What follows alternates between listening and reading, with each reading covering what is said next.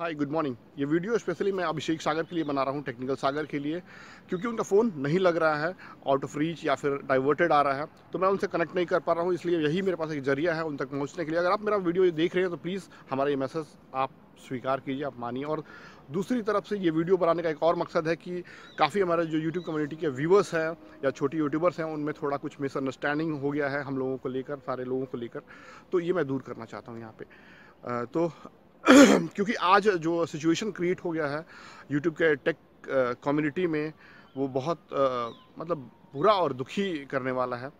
ऐसा नहीं होना चाहिए। लोग यहाँ पे छोटे छोटे बच्चे जो हैं स्कूल कॉलेज के वो आते हैं पढ़ने के लिए सीखने के लिए कुछ नया चीज़। आप उनके गुरु हैं एक तरह से कह लीजिए। और वहाँ पे ये लोग सीख रहे हैं देख रहे हैं। ये चीज़ आजकल वो सही सही नहीं है नहीं होना चाहिए ऐसा। तो बुरा लग रहा है मुझे भी काफ़ी, और ये बढ़ते ही जा रहा है बात। इतना लेवल तक नहीं आना चाहिए था। इट्स ओके घर परिवार हम लोग का जो टेक कम्युनिटी है, एक छोटा सा फैमिली है कह लीजिए जिसमें कि होते रहता है, बर्तन एक जगह रहता है तो लड़ता है ना थोड़ा बहुत। तो वो होता है थोड़ा बहुत, इसका मतलब ये नहीं ना कि मतलब बच्चों की तरह जैसे छोटे बच्चे लड़ते हैं, किसी भी एक्सटेंड तक चले, ये ऐसा नहीं होना चाहिए। एक लिमिट सही रहता है, और मतलब हम मानते हैं कि टेक्निकल गुरुजी से भी गलती, गलतियाँ दोनों तरफ़ से हुई हैं। उन्होंने ये चीज़ कहा, ये तो गलती नहीं कहा था कि मतलब ठीक है जिसको आने का मतलब है वो आए, जिसको जब जाना है जाए। लेकिन उन्होंने ये ज़रूर अगर ऐसा ज़िक्र किया था वीडियो में कि राखी सावंत की तरह हैं, ये तो वो उनकी, ये मेरे से हिसाब से ये ऐसा नहीं करना चाहिए था इट्स ओके ये गलती है उनकी तरफ़ से। बट बहुत बड़ी गलती नहीं है ये चीज़ लेकिन अब इस चीज़ को लेकर फिर आपने भी बयान दिया कहा ये चीज़ कि वो नशा करते हैं न, इनकी आँखें देखिए ये सब।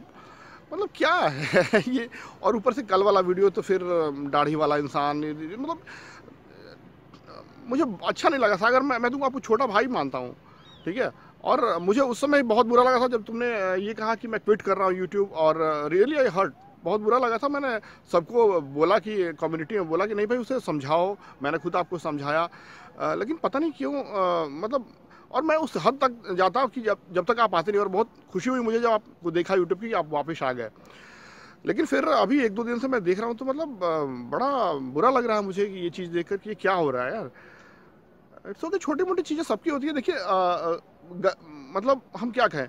गुरु जी से तो मुझे आ, कल बात हुई और सीरियसली मैं कह रहा हूँ कि मतलब इतने दुखी मैं आज तक उनको कभी नहीं देखा था। इतना मतलब बहुत दुखी थे अंदर से। एकदम जैसे लग रहा टूट गया बिल्कुल।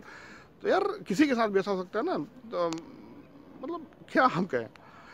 देखिए जैसे आप दोनों के बीच में जो ये मिसअंडरस्टैंडिंग हुई है झगड़ा हुआ, इसका रीज़न यही है कि आप दोनों एक दूसरे से बात नहीं किए कनेक्ट नहीं कर पाए। गुरुजी जब आपका, आपने ट्वीट करने का वीडियो बनाया था, उस समय ही गुरुजी ने हमसे फ़ोन किया था और मुझे कहा था कि, भाई, सागर से मेरी बात करवाओ। क्यों ऐसा कर रहा है वो? अगर कुछ प्रॉब्लम है तो मैं उसे उसका सोल्यूशन निकाल दूँगा। ठीक है? मैं मैं कुछ एम्प्लॉय से बात करूँगा, मैं भी कुछ होए तो हम बेटर करेंगे। लेकिन क्योंकि आप लोगों के बीच में पहले से थोड़ा बहुत था वो ओपन अप केस को लेकर, इसलिए आप लोगों ने कनेक्ट नहीं किया, एक दूसरे से बात नहीं कर पाया, किसी वजह से नहीं कर पाया। तो यही एक रीज़न है। अगर आप बात कर लिए होते तो ऐसा कुछ नहीं होता। मिसकनसेप्शन जो है ना, दूर हो जाता सब कुछ। तो ये एक चीज़ है। और उन्होंने तो अपना प्रयास किया ही था वहाँ पे, और गलतियाँ देखिए जहाँ तक होती हैं, वो सबसे ही होती हैं। अब बहुत सी चीज़ें हैं, जैसे कई व्यूअर्स के मन में ये है कि क्योंकि मैंने वीडियोस डिलीट कर दिए थे, मेरे चैनल से वीडियो डिलीट हो गए थे, वो वाला दो तीन वीडियोस मेरे चैनल से डिलीट हुए तो लोगों को लगता है कि मतलब टेक्निकल गुरु ने धमकाकर या फिर डराकर वीडियो डिलीट कराया। तो गाइज़ ऐसा कुछ नहीं है। टेक्निकल गुरु ने मुझे धमकाया डराना थे। मैं मैं कह रहा हूँ, मैंने उस वीडियो के बाद में इंटरव्यू में मैं बताया था और आज भी मैं यही कह रहा हूँ कि मैंने जो वीडियो डिलीट किया था, जिसमें मैंने ट्रेंडिंग के बारे में बताया था या फिर जो भी तो मेरे पास कोई प्रूफ नहीं था सॉलिड कि मैं एम्प्लॉई को ब्लेम कर रहा था। अगर लीगल बेस पे देखा जाए तो अपने प्रूफ होना चाहिए, ऐसा कुछ एक बड़ी कंपनी को ब्लेम करते हुए या कुछ। हितेश भाई हितेश भाई ने मुझे कहा कि आपके पास क्या प्रूफ है? अगर प्रूफ है तो हम लोग सपोर्ट करेंगे। तो दैट इज़ जेनविन थिंग सही बात है प्रूफ नहीं था मेरे पास। तो और ऐसा कुछ नहीं है। तो गलतियाँ देखिए, सभी से होती हैं। मैं कह रहा हूँ कि एक इंसान है, भगवान नहीं है कोई। सबसे गलती होती है। मैंने भी अपने लाइफ में यूट्यूब पे कुछ गलतियाँ की हैं।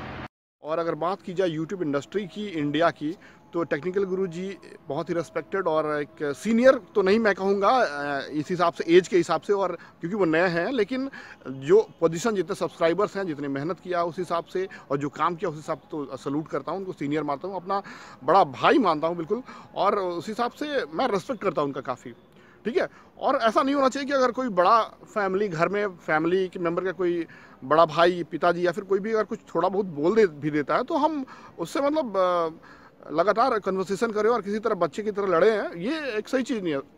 कंप्रोमाइज़ करना चाहिए, थोड़ा सहना चाहिए, भाई ठीक है इट्स ओके होता है। तो फाइनली मेरा यही वर्ड है सागर आपसे कि ये प्लीज़ रोकिए, ये सब चीज़ अच्छी चीज़ नहीं है। अगर आप के दिल में हमारे लिए थोड़ा भी या फिर गुरु जी के लिए थोड़ा भी अगर इज़्ज़त करते हैं तो प्लीज़ इस चीज़ को समझिए और इस चीज़ को आगे मत होने दीजिए। जो वीडियोस जो आपने डाले हैं, वो सब डिलीट कर दीजिए तो बेहतर होगा। और सबसे ज़्यादा बेहतर तो ये होगा कि आप दोनों एक दूसरे से बात करें कनेक्ट कर लें, हम यही चाहेंगे तो बेहतर होगा।